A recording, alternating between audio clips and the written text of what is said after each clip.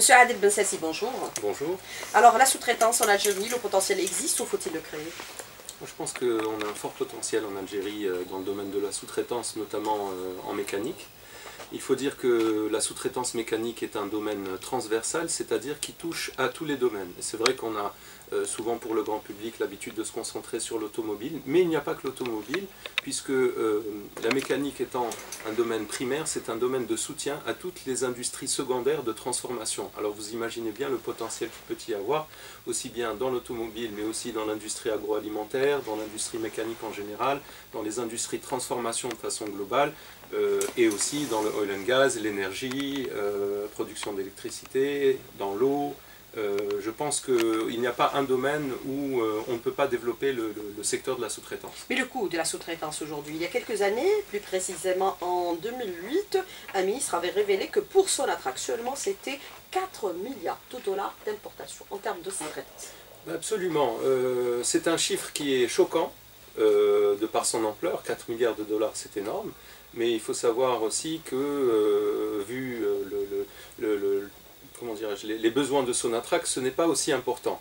Euh, Au-delà de cela, il y a euh, les coûts directs et les coûts indirects. Les coûts directs qui sont liés au fait que euh, la pièce de rechange n'est pas disponible et provoquent des arrêts. Et ces, arrêts-là ont aussi un coût. On parle de 4 milliards de dollars d'importation de pièces de rechange et d'équipements, mais on ne parle pas du coût d'arrêt d'un équipement dans le process, euh, que ce soit pour le transport, le raffinage ou tout autre process, dans- uniquement pour Sonatrach. Donc c'est un coût très important. Comme je vous disais, comme on est une industrie primaire, il est primordial pour l'Algérie, je dirais même c'est une question de souveraineté nationale, d'arriver à faire de l'intégration et à faire de la sous-traitance, le fer de lance du développement industriel. Mais justement, par rapport à cette question d'intégration, vous parlez un peu du coût direct et indirect. Est-ce qu'on peut l'évaluer aujourd'hui, puisqu'on était resté à 2000 en 2004 sur 4 milliards de dollars euh, de sous-traitance? Est-ce qu'on peut considérer que ce chiffre a augmenté si on prend tous les secteurs industriels, y compris la mécanique? Pour la pièce de rechange déjà, c'est l'importation, c'est 1 milliard de dollars. C'est deux marchés qui sont structurellement différents. Euh, je dirais que globalement, on, on- on devrait atteindre facilement le double du chiffre que vous venez de citer. C'est-à-dire, en Euh, termes C'est-à-dire, on en est à peu près à 8 milliards de dollars estimés, euh, ce qui est quand même colossal. Il faut savoir que sur ces 8 milliards de dollars, si on pouvait en récupérer que 10%, ce serait déjà assez extraordinaire et permettrait le développement de tout un tissu de sous-traitants.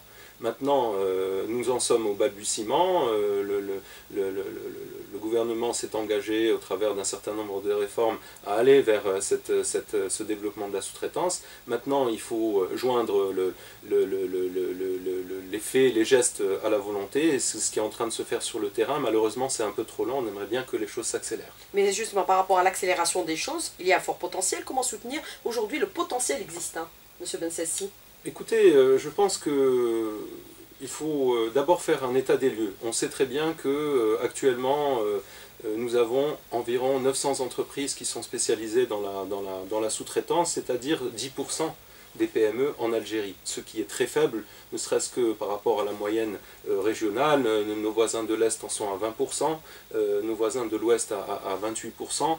Euh, donc la, part de la sous-traitance dans l'apport économique reste encore très faible. Alors qu'est-ce qu'il faut faire?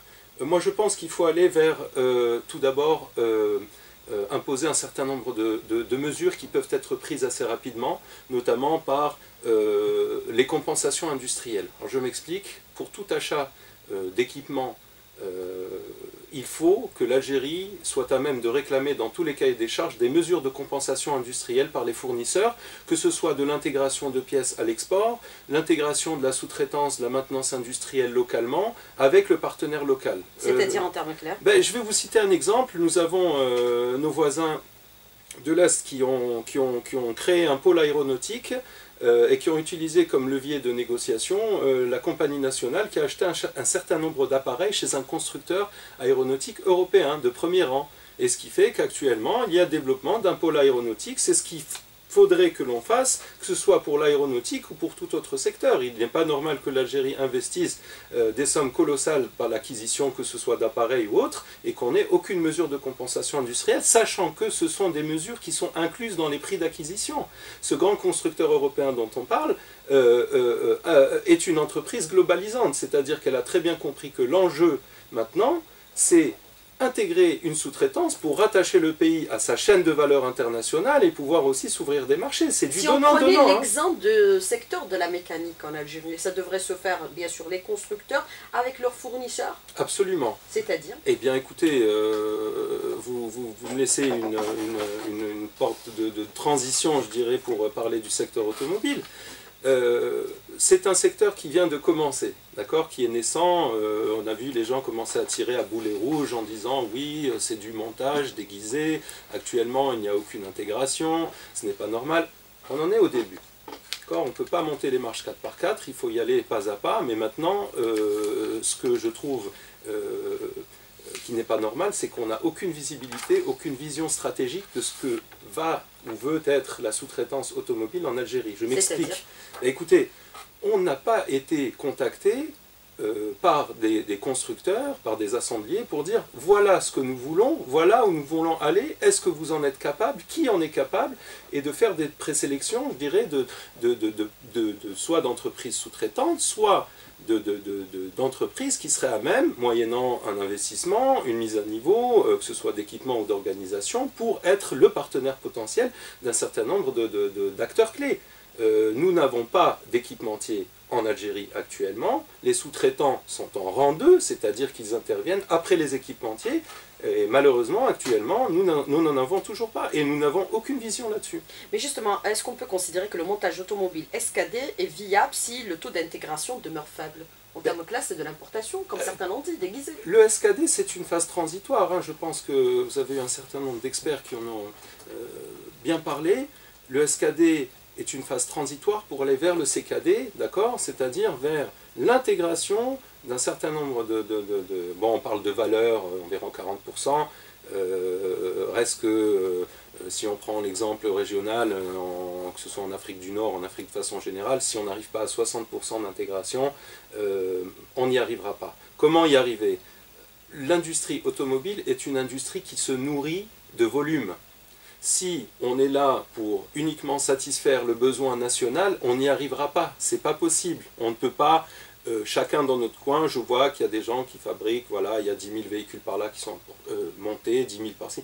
C'est pas possible. Il faut absolument avoir une stratégie à l'export si on veut atteindre ces volumes. Et c'est ces volumes qui vont permettre au marché d'être attrayant et donc à ces gens-là de venir s'installer. Mais dans la mécanique, est-ce qu'il y a du potentiel dans le domaine de la sous-traitance? Est-ce qu'il est réel, Absolument. Monsieur Bensassi Oui, oui, tout à fait. Euh, bon, l'industrie automobile est une, est une industrie très spécifique avec des, des exigences de qualité, hein, comme dans toutes les industries. Maintenant, euh, la mécanique, encore une fois, en tant que métier transversal, on, y intervient soit directement par, la fabrication de pièces qui vont être assemblées par la suite, soit par la transformation. Je parle par exemple de l'industrie plastique. Toute l'industrie plastique utilise la mécanique, que ce soit des moules pour l'injection, le soufflage, le thermoformage, tout ça. Donc tout ça, c'est aussi de la mécanique. Et indirectement, euh, je dirais que la mécanique doit représenter euh, 80%, voire plus, de, ce que peut être la construction d'un véhicule. Mais comment on peut procéder, eh bien sûr, à comment passer d'une étape où on est actuellement pratiquement à 15%, selon les chiffres qui sont communiqués par le ministère de l'Industrie, atteindre les 40% pour aller peut-être vers les 80% Est-ce que c'est possible rapidement ou pas du tout dans l'étape actuelle? Je pense que c'est possible, mais je pense que chacun doit faire montre d'une certaine volonté euh, pour y arriver. C'est-à-dire que là, pour le moment, Mais il n'y a qui doit soutenir la sous-traitance? C'est le marché. Moi, je suis quelqu'un d'assez libéral. Vous savez, on ne peut pas euh, intervenir euh, sous forme de, de en, disant voilà, euh, la sous-traitance, il va y en avoir l'année prochaine. Non, malheureusement, c'est pas comme ça. Il faut absolument que, ce marché-là soit attrayant. On a eu une réunion au mois de mai. Euh, au niveau de- d'Oran, d'accord, d'un des constructeurs euh, français donc de, l'usine de Clilette, C'est Renault. Absolument, qui a, pour ne pas le citer, qui a, qui a ramené euh, un certain nombre de, de, de ces acteurs sous-traitants euh, et équipementiers en Algérie pour les pousser justement à venir trouver des partenaires localement pour pouvoir développer cette sous-traitance. Parce qu'il y a un taux de, décomposition qui est très important. hein. On, a, eu l'occasion de visiter cette usine, il y a quand même 2500 pièces et équipements qui sont assemblés sur cette ligne. Donc il ne s'agit pas de monter des roues, mais c'est le châssis nu qui vient et ensuite on vient euh, complètement construire le- le véhicule autour. Il est évident que les coûts de logistique, à eux seuls, ne permettent pas aux véhicules algériens d'être au même prix ou sinon moins cher que les véhicules qui sont importés, parce qu'il manque justement cette partie d'intégration. D'où le fait qu'on ne pourra pas être rentable à terme, et si on ne fait pas d'intégration, pour moi, c'est une industrie qui est vouée à péricliter. Mais le cahier de charge, est-ce qu'il doit prendre en considération tous ces aspects?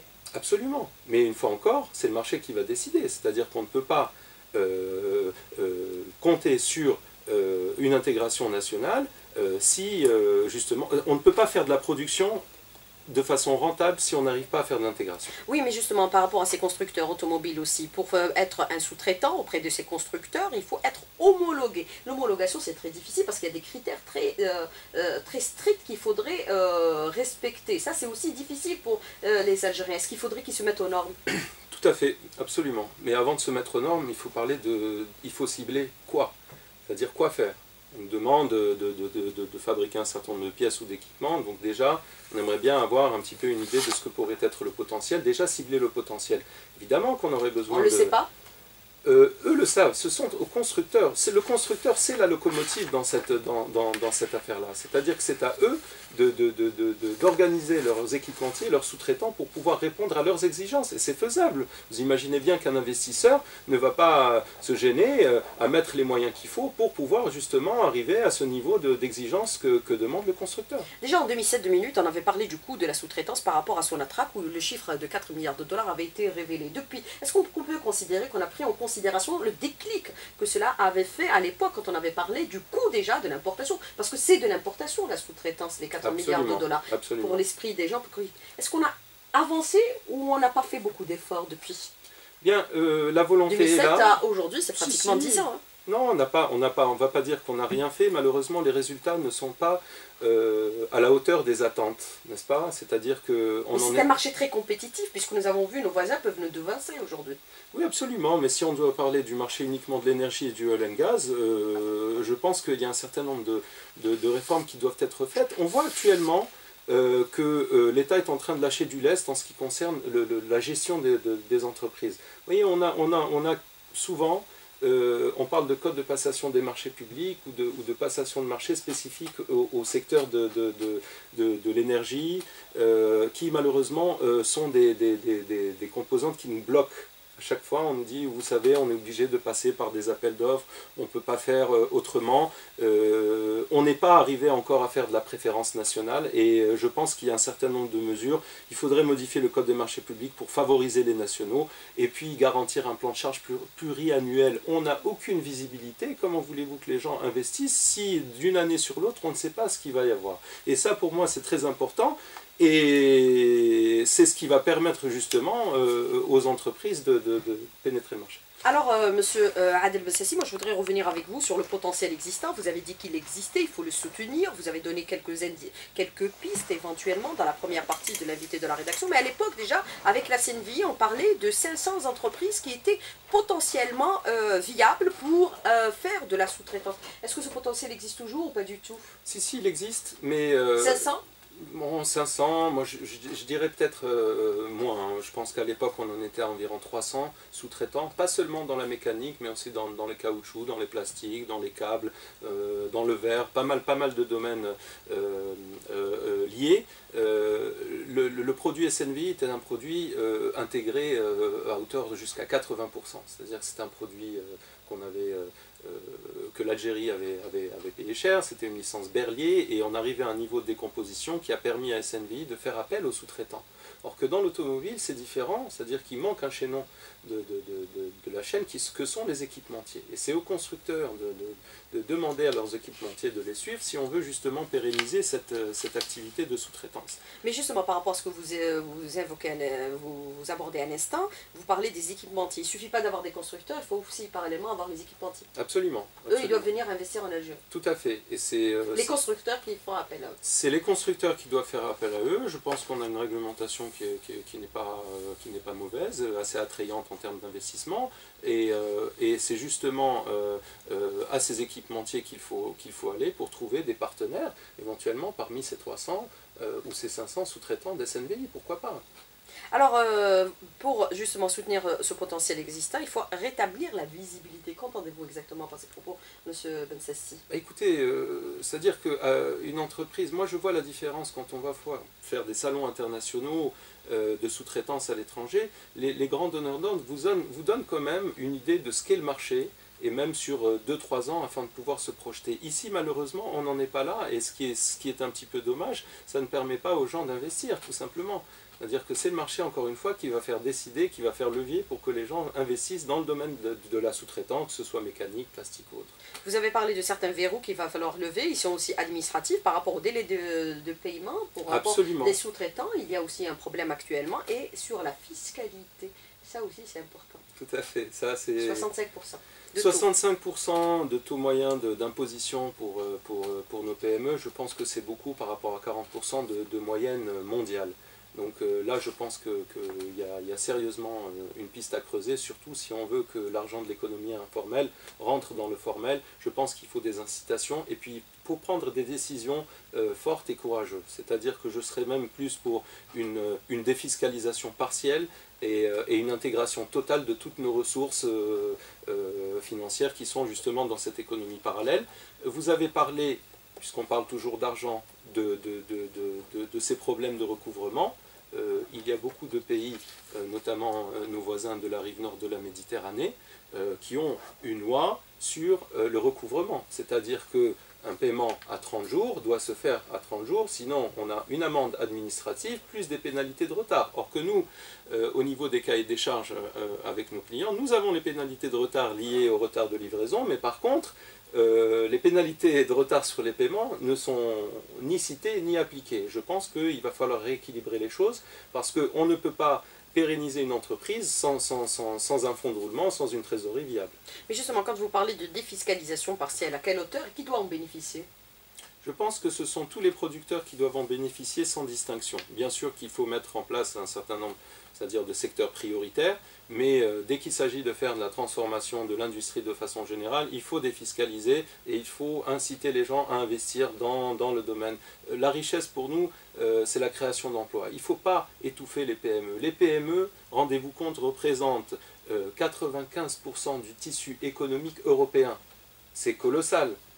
Je ne pense pas que ce chiffre soit applicable en Algérie. Pourquoi? Eh bien parce que justement toutes ces, contraintes font que nos entreprises ont du mal à être compétitives au niveau international. Mais qui doit s'intéresser aujourd'hui à le secteur de la sous-traitance? Est-ce qu'on peut considérer que c'est les grandes entreprises ou les toutes petites entreprises, les TPE Parce que notre tissu actuel est constitué pratiquement à 90% de TPE, les toutes petites entreprises. Absolument, mais ce sont ces TPE qui vont devenir nos PME et nos grandes entreprises de demain. Hein. Il ne faut pas oublier que tous les grands groupes ont commencé par euh, souvent des entreprises familiales. Si on doit citer les grands noms, fabricants de pneumatiques, nous avions un partenaire pour la sidérurgie au niveau d'Annaba, c'est une société familiale. Donc toutes ces entreprises-là euh, ont commencé petit et sont devenues grandes. Et je pense que c'est pour ça que nous avons le vivier, il existe, les volontés sont là. Maintenant, je pense qu'il y a une concertation à avoir euh, dans le cadre d'un comité éventuellement ad hoc où euh, il faut aller vite. Il faut aller vite parce que pour moi, il y a péril en la demeure et cette opportunité que nous avons actuellement avec la baisse des recettes sur les hydrocarbures et toute cette, cette, cette politique qui est mise en place, c'est bien, mais il faut aller plus loin. Une vision, c'est impératif? C'est impératif. Je vais euh, vous donner euh, une petite idée. Euh, c'est un, un conte américain qui disait qu'une fois, dans une forêt, il y avait un incendie. Et tous les animaux se sont mis à regarder le feu en disant Mon Dieu, ça va tout détruire, qu'est-ce qu'on va devenir, c'est horrible. Et il y a un petit colibri, vous savez, c'est ce petit oiseau avec le long bec qui est un, peu électrique, qui partait, ramenait quelques gouttes d'eau, les jetait dans le feu, revenait, repartait. Et le tatou le regarde, me dit Mais, tu, es ridicule, tu, sais très bien qu'avec ces quelques gouttes d'eau, tu, n'éteindras jamais l'incendie. Et le colibri le regarde et lui dit Je sais, mais je fais ma part. Alors si chacun fait sa part, je pense qu'on va y arriver. Alors, euh, justement, par rapport à cette question de défiscalisation partielle, à quelle hauteur vous n'avez pas répondu à mes questions? Je pense que c'est à définir par les experts. Moi, je pensais à un, taux euh, compris entre 20 et 30% qui ne doit pas dépasser les 30% alors, euh, des questions des auditeurs aujourd'hui. Monsieur Adel Bensassi, c'est un véritable comité de soutien que vous avez sur la page, hein, pour vous, le dire. Hein. Alors, que pensez-vous du refus de Renault d'acquérir des batteries algériennes de bonne qualité? C'est vrai que nous fabriquons euh, la batterie algérienne actuellement et qui est de bonne qualité.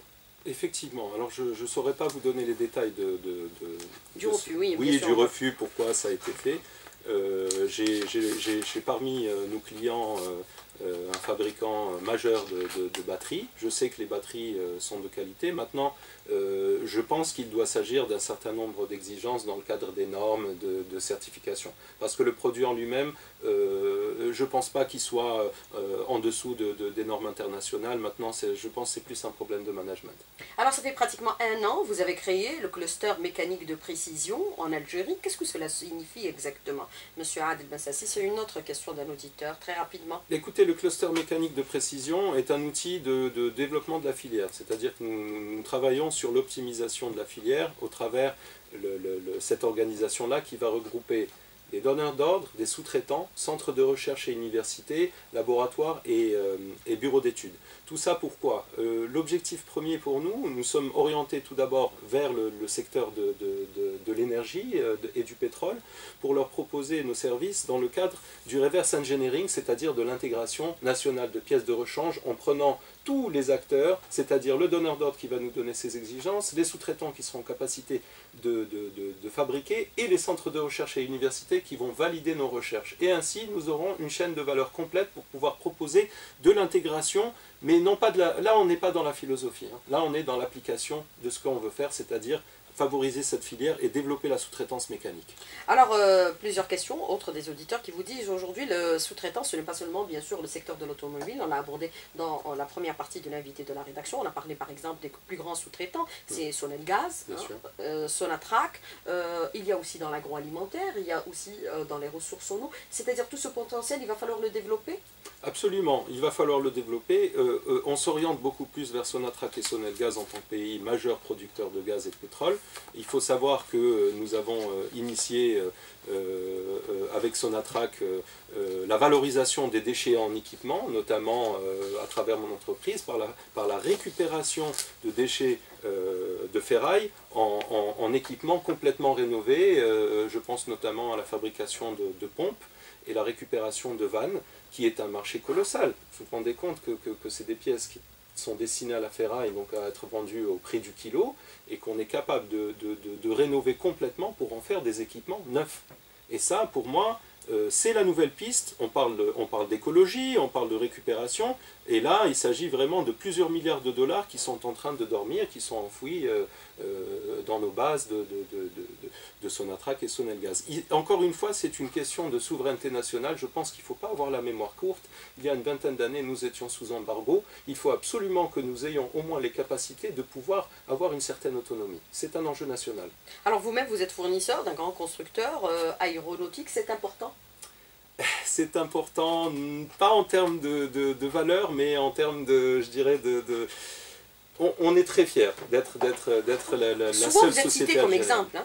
effectivement, bon, euh, c'est pas peu de le faire parce que bon, ça demande quand même un certain nombre d'exigences. Vous savez que l'aéronautique, c'est un secteur qui ne, qui ne pardonne rien.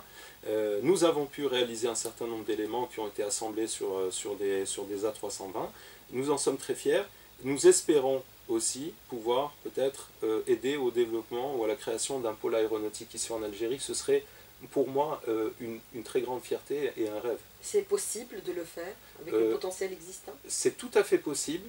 J'ai initié une discussion avec un des groupes industriels. J'espère que les choses vont avancer dans ce sens parce que ce n'est pas quelque chose qui est impossible. Et encore une fois, il faut arrêter il faut, je pense, que les étrangers arrêtent de regarder l'Algérie comme un marché, mais nous voient comme un partenaire industriel, que ce soit pour le marché interne que pour la région. Mais justement, pour, ce changement de, de vision, par exemple, qu'on passe non pas comme étant un marché, mais comme partenaire, qu'est-ce qu'il faudrait faire? Être plus regardant sur les cahiers de charges par rapport à l'engagement de ces euh, tout à pays fait, euh, tout à fait. C'est à nous Algériens. Absolument, c'est à nous Algériens, aussi bien l'État que les sous-traitants, que les grandes entreprises, d'exiger de nos partenaires ce qu'on veut, c'est-à-dire la compensation industrielle, l'intégration nationale. Je vous ai dit une partie de fabrication, que ce soit pour l'exportation, pour entrer dans la chaîne de valeur internationale, pour l'intégration locale, la maintenance, il y, a, tout est à faire. On est dans un marché vierge, vous vous rendez compte que pratiquement 99% de, de, de, de, nos besoins sont importés. On ne peut pas euh, rester dans cette situation. Alors euh, aujourd'hui, ce qui est relevé, c'est qu'il y a eu les licences d'importation qui ont été imposées aux véhicules, mais on n'a pas inclus la pièce de rechange. Est-ce qu'il va falloir l'intégrer également? Pour pousser un peu les Algériens peut-être à aller vers la réalisation et la construction de ces pièces de rechange Écoutez, concernant l'importation, moi j'ai une chose à dire. C'est très bien qu'on euh, mette des barrières à l'importation pour favoriser la production nationale. Pour autant, je pense qu'il faut aller vers les secteurs stratégiques. On a, beaucoup parlé euh, de, créneaux polémiques, on parlait de ketchup, de moutarde, de chewing-gum, tout ça. Euh, on ne sommes pas autosuffisants en ce qui concerne les céréales et le lait, qui représentent une énorme, un énorme poids dans la facture d'importation et les sorties de devises. Bien sûr qu'on parle de la pièce de rechange, il faut favoriser les nationaux, mais favoriser les nationaux non pas en interdisant, mais en proposant des, facilitations et des aides à l'investissement. Alors aujourd'hui, il y a pratiquement l'équivalent de 8 milliards de dollars dans euh, pratiquement euh, la sous-traitance. Est-ce qu'il va falloir aussi adapter la formation? Des jeunes dans ce domaine-là pour aller et investir dans ces créneaux-là. Parce que là, il y a du potentiel. Absolument. Énormément. Bien, euh, nous avons... Au lieu de faire dans les transports seulement au niveau euh, de l'enseigne et d'autres activités. C'est sûr, mais, euh, mais au-delà de... Moi, je pense qu'il y a un problème au niveau de la formation professionnelle en Algérie. Nous n'avons pas de, de, Oui, oui, on n'arrive pas à trouver d'opérateurs sur machine. Je vais vous dire, la formation professionnelle, pour nous, ils sont en train de faire de grands efforts. Oui, oui, non, qui sont fort louables et on est en train de le voir sur le terrain. Néanmoins, il y a un changement de mentalité qui, doit se faire et c'est pour ça que je tiens à en parler. Le, secteur de la formation professionnelle n'est pas destiné aux, gens de, piètre qualité, encore une fois. Euh, si on doit prendre l'exemple de l'Allemagne, le secteur de la formation professionnelle est un immense pourvoyeur de richesses, alors qu'ici en Algérie, on n'arrive pas à trouver de plombier ni d'électricien qualifié. Vous vous rendez compte, on en est là. Et pour nous, euh, euh, fabricants, nous n'arrivons pas à trouver d'opérateurs qualifiés, c'est-à-dire des techniciens, techniciens supérieurs, des gens qui étaient formés à l'époque, notamment dans les lycées techniques, etc. Donc ça, c'est des choses qui sont en train d'être revues, mais qui donneront le fruit euh, d'ici 3-4 ans. Alors, comment faire aujourd'hui pour agir et agir vite, puisque vous avez créé votre cluster? C'est-à-dire que vous êtes en quelque sorte une, forte, une force de proposition, Monsieur Adel Bensassi. Écoutez, effectivement que c'est une force de proposition. Euh, moi, j'insiste sur le fait que je, ne suis pas un expert et je ne suis pas un théoricien. D'accord Je suis quelqu'un de terrain et tous ces problèmes dont on vient de parler, je les vis et on les vit tous les jours. Et croyez-moi que euh, avoir 50 familles en responsabilité et qu'à la fin du mois, vous ne savez pas si vous aurez suffisamment euh, pour payer ces gens-là ou pas, c'est très difficile. Oui, oui, mais, mais croyez-moi qu'en Algérie, euh, nous avons un certain nombre de contraintes que nous n'aurons pas, que nous n'aurions peut-être pas à vivre ailleurs. C'est très formateur, on fait face, on est là, c'est notre pays, on n'en a pas d'autre. Oui, mais euh, le potentiel existant, comment le valoriser aujourd'hui? Qu'est-ce qu'il y a lieu de faire de façon concrète, M. Bensassi bah, Je vous ai donné un certain nombre de propositions en ce qui concerne la défiscalisation, la loi de recouvrement. On doit agir vite? Euh, Ah oui, absolument, tout à fait. Moi, je pense que... C'est un marché très concurrentiel, on a les pays voisins qui sont en train de nous devancer. Absolument, bah, il, faut, il faut prendre exemple. Je pense qu'il faut s'inspirer et puis aller dans le même sens. Et faire mieux. Monsieur Adel Bensassi, merci d'avoir répondu à nos questions et d'avoir été en direct avec nous ce matin dans le studio. Merci beaucoup. Merci à vous. Bonne journée.